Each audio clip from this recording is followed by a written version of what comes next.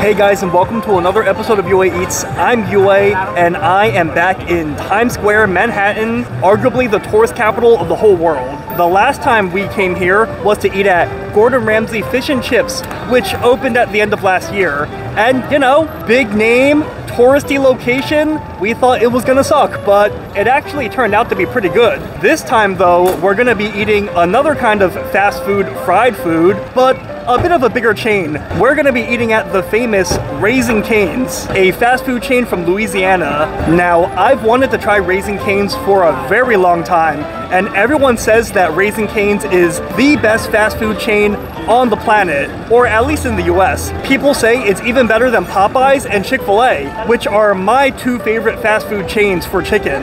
The chain has been expanding pretty rapidly, and most recently, a few months ago, they opened their flagship location here in Times Square, and not just like a regional flagship location, it's apparently their global flagship location. Don't just take my word for it, that's what it says on the sign. Now, not only does Raising Cane's claim to make the best chicken, but they're so confident in that claim that they only have like a few things on their menu. They only sell chicken tenders, I think a chicken sandwich, and that's pretty much it. That means that they're really specialized and they're really confident that you're gonna like what they serve. So come on, let's go check it out.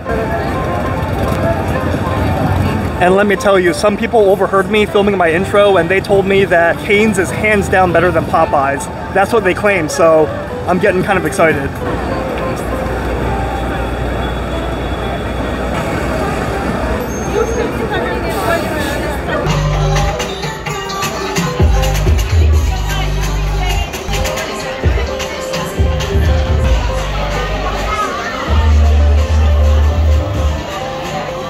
Okay guys, we just got our food and we just found a table here at Raising Cane's and we're really lucky because this place is pretty packed. I mean, it's 7 o'clock, it's like peak dinner time, especially here in New York in Times Square. Lots of tourists, not really any locals, so lots of tourists and I was afraid I wasn't going to be able to find a spot and I actually got all my food to go because I was afraid that I was gonna have to eat outside in Times Square, which wouldn't have been the worst thing. I mean, it's Times Square, it's pretty well lit. It's almost as bright as daytime. But luckily, we found the spot indoors, so let's see what we got from Raising Cane's.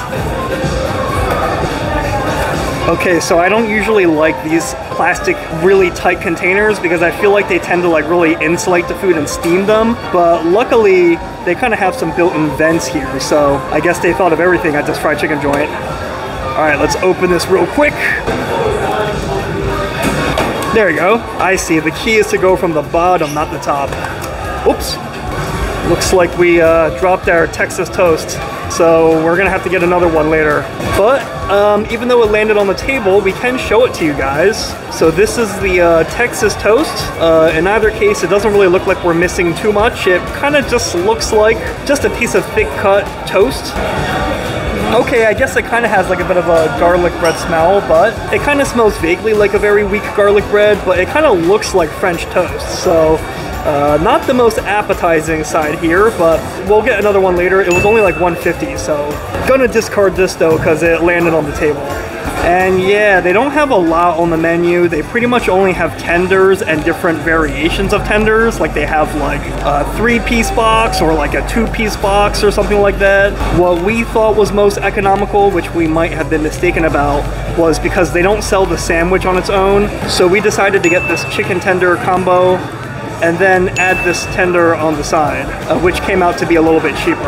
Though it kind of looks like the chicken sandwich is also not really a chicken sandwich. It looks like it's more or less just the tenders stuffed in some bread, which might not be a bad thing, but man, they're really, really confident about their tenders here. But yeah, let's just open this guy up and yep.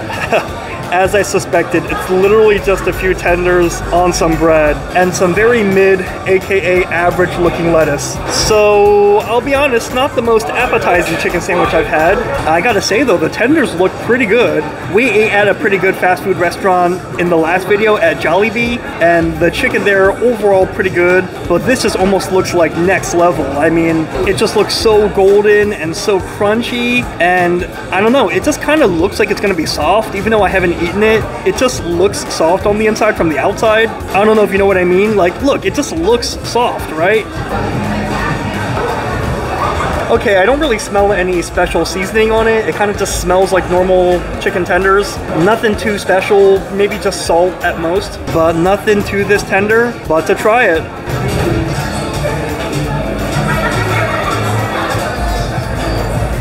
You know, what I love about these chicken tenders is that they're not too dry on the inside. Too often, white meat chicken is often overcooked because people are afraid, especially fast food restaurants, that if you undercook chicken, you're gonna get people sick. So it's good that they err on the side of caution, but you often lose some juiciness as a result. But this chicken, it's not dry. It's a little bit moist on the inside, which is great, especially for white meat. That being said though, it may not be dry, but I wouldn't say it's juicy or moist on the inside. So I would say these are some of the better chicken tenders I've had, but not the best. If I can be completely honest, I still prefer Chick-fil-A to this. I mean, these chicken tenders are definitely crunchier and that crunchiness helps to carry them and, you know, really complement the chicken on the inside. But that being said, even though the Chick-fil-A chicken tenders are less crunchy, I feel that the batter has better flavor and it's better seasoned and it doesn't just taste like an average fried chicken batter. Now this is an average fried chicken batter that's elevated, but that being said, I still feel like there's not really anything special about it. Okay, let's see though if this cane sauce really helps to lift it and make up for any deficiencies.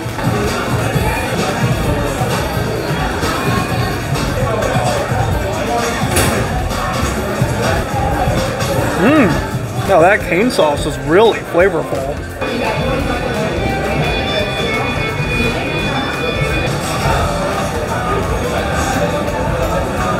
Hmm.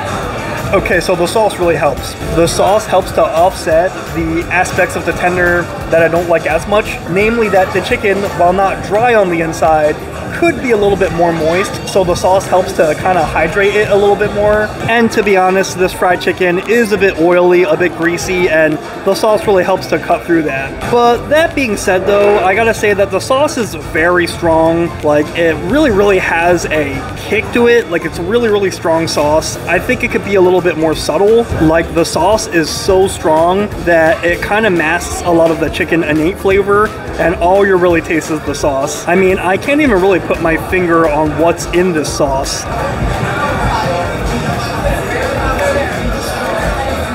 I think the flavor I was trying to put my finger on is Worcestershire. How do you say that? Worcestershire sauce? Worcestershire sauce, I think is how you say it. I think. But regardless, it's a good sauce, but it just really has like this like molassesy, like sweet, but like kind of like bottled sweet kind of flavor. Not sweet in like a fresh or refreshing way, so it's a good sauce, but I kind of want it in smaller doses. I feel like it would be a good sauce for like chicken nuggets where they really force you to take smaller doses, but I don't know. To be honest, I feel like it's a little bit too strong for me, but this place is wildly popular, so maybe it's just me. Also, the tenders were quite small, to be honest. They were about one and a half times the size of this sauce container. So about that big. So yeah, they were not particularly large either. But we're done with the tenders. Let's see how the tenders taste in sandwich form, I guess. Not the best quality bread I've seen, but not the worst either.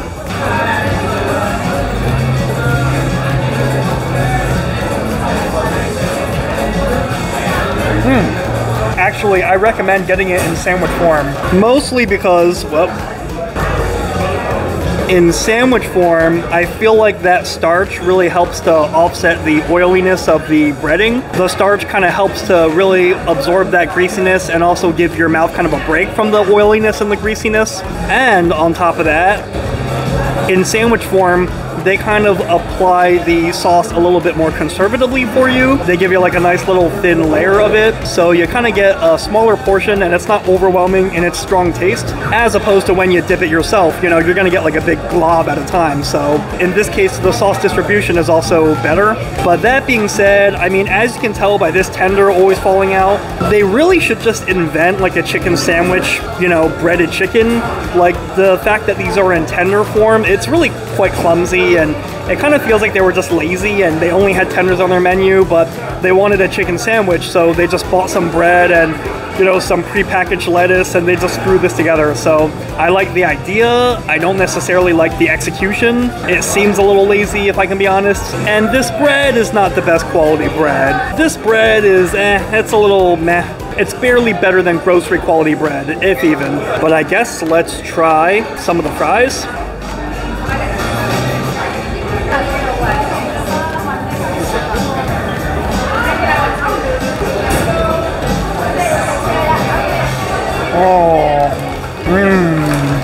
Well, let me tell you, I thought these were just gonna be like the most average fries. I mean, they look like it, right? They look like they're just your average grocery store frozen fries that you can get from like Costco. But the oil that they fry it in, oh, it's got some nuttiness. It tastes so good. I don't think it's even just peanut oil. I feel like it might even be the oil that they fried the chicken in. I'm not sure, but... Mmm. Do not underestimate the fries. They're really, really good. And lastly, you know, Raising Cane doesn't really have a lot of items on their menu, so really slim pickings for this review. One thing that they do have that's from the South though is sweet tea. So I really, really want to try their sweet tea. Now, I'm not usually a big fan of sweet tea. I tend to find it too overwhelmingly sweet. But hey, when in Rome, and in this case, when in Raising Cane's, and this is really popular in the South, so maybe it will turn me into a believer.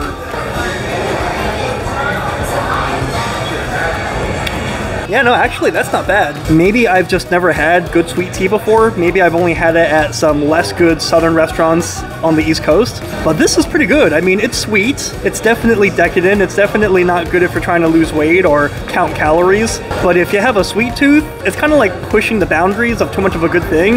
And it's really good. Like, it's not too sweet. It's like almost too much and it just barely doesn't make it. So it makes it kind of pleasant. Oh, not bad. Not my favorite drink, but definitely not bad. But all right, let's replace our fallen Texas toast, and then we can conclude the review. So come on, let's go.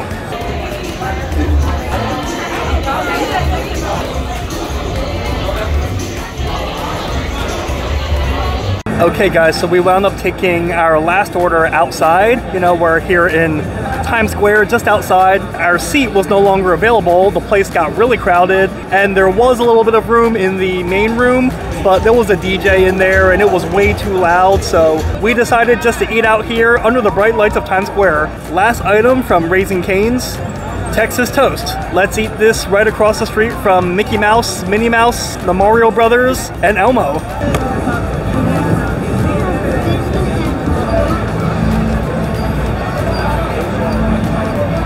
You know, it's actually not bad. It tastes nice and homemade in a good way. Like, it kind of tastes like if you're just making a grilled cheese at home, you get some nice thick bread, and then you slather some butter on it, and you grill it nice and slow to get some grilled butter on it. I feel like this is kind of how it would taste, and I really do not mean that as a bad thing. Like, it tastes really homemade and really homey, and I actually enjoy this. And it's nice and thick cut and fluffy as well.